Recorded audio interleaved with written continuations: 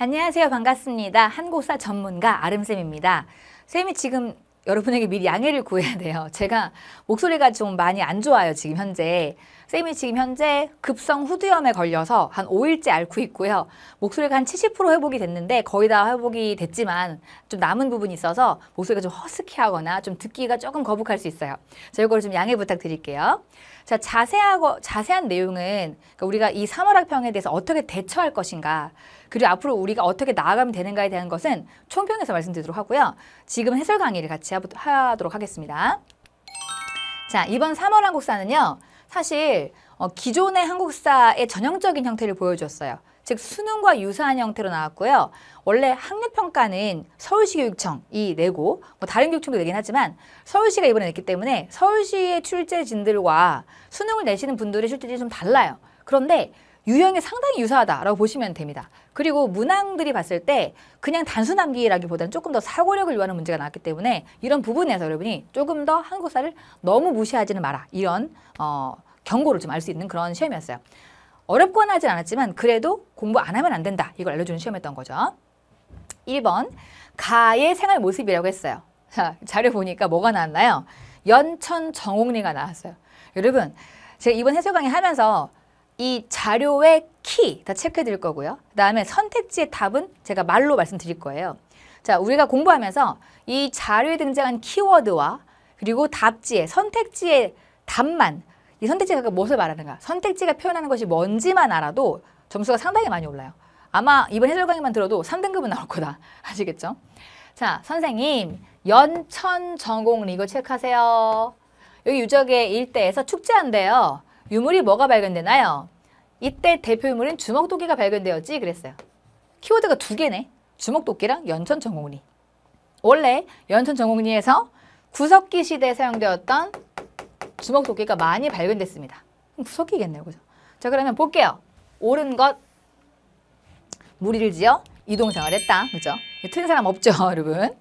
상평통보 조선시대 후기 8만 대장경 고려 비평동검 요거는 고조선. 청동기 시대죠. 철제 농기구 사용했다. 철기 시대부터. 답은 5. 넘어갑니다. 2번 가에 들어갈 내용. 우리 모듬은 가를 주제로 한 내용을 발표한대요. 원효에 대해 조사했고요. 원효가 나무 아미 사부를 열면 극락간다 하면서 불교의 대중화를 이끌고 아미타 신앙을 강조했대요. 의상 조사했는데 아래 사람은 관세음보살만 기도하면 현세 고난에서 벗어날 수 있게 준다. 관음신앙을 알렸대.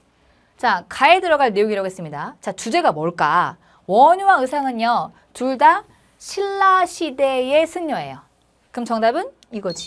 신라 시대의 불교의 대중화. 지금 앞에 내용 보니까 뭐래? 앞에 잠깐 볼까? 앞에서. 누구나 극락 갈 수 있다. 누구나 현세 고난에서 벗어날 수 있다. 모두 누가 좋아하는 거야? 이거 서민들이 좋아하는 거죠. 즉 이런 걸 통해 불교의 대중화를 이끌어내는 거지. 자, 나머지는 굳이 설명하지 않을게. 왜냐면 해당 내용과 연관이 없으니까. 여긴 넘어갈게요. 3번 자료의 상황에 전개된 시기를 골라봐라 라고 했습니다. 자 윤원이가 누군지 모르겠는 거야. 어려운 건가 싶은데 읽어볼게요. 바야흐로 금이 전성기를 맞아 우리나라를 신화로 삼으려 한다. 어, 우리를 신화로 삼으려고 한대. 한국을 금나라가 신화로 삼으려고 하네. 여러 사람이 어지럽게 논의했는데 공이 홀로 따지면 아래였다. 이때 권신이 이제 어, 임금명을 제대로 제멋대로 정해서 신하를 칭하면서 서역하는 글을 올렸대요. 지금 금나라가 우리를 신하로 삼으려고 했는데 그 신하가 우리나라에 우리나라의 한 대신이 신하라고 칭하면서 서역을 하는 글을 올렸다는 거야. 자, 이 얘기는 자, 금나라가 우리 고려에 대해서 사대를 요구하자. 사대. 요거를 누가 수용했다? 당시 어, 신하 관료 중에 한 명이었던 이자겸.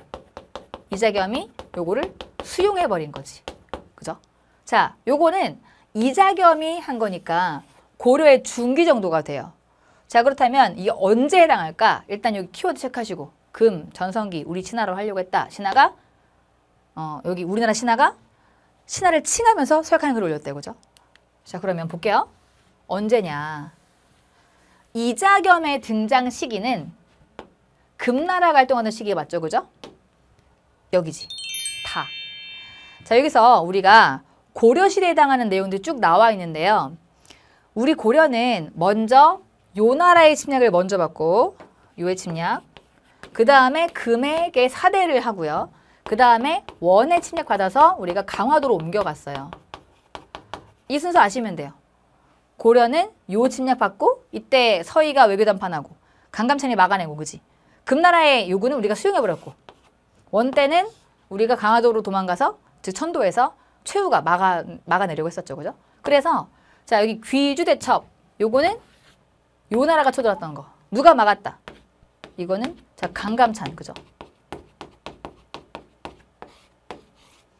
강하촌도는요 원에 대한 저항이지, 그지? 그래서 여기가 되는 거야. 이렇게. 자, 여러분 만약에 고려를 공부할 때 이걸 몰랐다. 고려가 이렇게 침략을 받는다는 걸 모르면 안 돼요. 이거는 고려에 대한 베이직으로 좀 외워두세요. 아시겠죠? 자, 넘어갑니다.